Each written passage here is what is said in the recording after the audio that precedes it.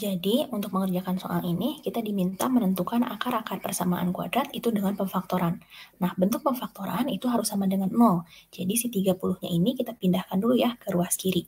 Jadi, ini pemfaktor. Jadi, ini maksudnya si persamaan kuadratnya akan menjadi 2x kuadrat ditambah dengan 17x, lalu dikurangi dengan 30, sama dengan 0. Ingat, kalau pindah ruas berarti dia berubah tanda ya. Nah, sekarang berarti kita harus memfaktorkannya. Berarti kalau pemfaktoran kan ini ada perkalian ya. Perkalian, nah ini akan sama dengan 0. Nah, kita lihat untuk yang pertama ini, ini kita dapatkan dari si 2x kuadratnya ini. 2x kuadrat itu bisa bisa didapatkan dari 2x dikali dengan x. Gitu ya. Nah, kemudian untuk mencari angka di belakangnya ini, itu kita harus mencari yang kalau angkanya itu dikali itu akan sama dengan si konstantanya. Jadi sama dengan negatif 30.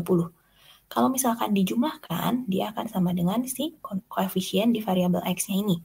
Jadi kalau dijumlahkan hasilnya harus sama dengan 17x.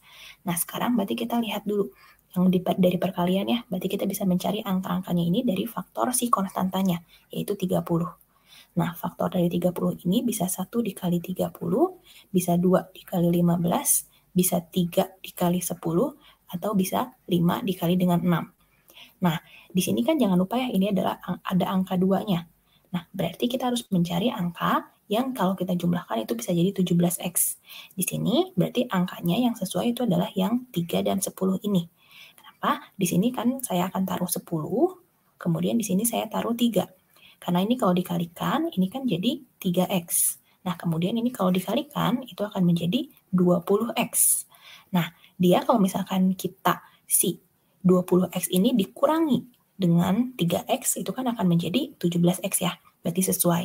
Nah, kemudian berarti ini hasilnya harus min 3x. Berarti yang ini tandanya harus negatif. Sedangkan yang ini tandanya harus positif. Jadi perkaliannya juga ini adalah minus 3 dikali dengan positif 10. Jadi hasilnya adalah minus 30. Sesuai dengan yang persamaan di atas. Jadi hasil pemfaktorannya itu adalah 2x minus 3 kemudian dikali dengan X plus 10. Ini sama dengan 0.